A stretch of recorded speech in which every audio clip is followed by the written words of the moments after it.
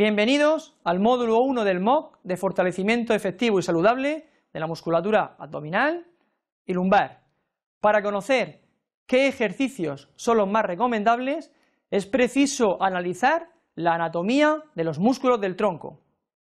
Necesitamos saber quiénes están ahí, de dónde salen, a dónde van, cuáles son sus acciones. Y todo ello lo vamos a realizar utilizando diferentes videotutoriales, así como visitas a páginas web de anatomía. Esperamos que este módulo le resulte interesante. Empezamos.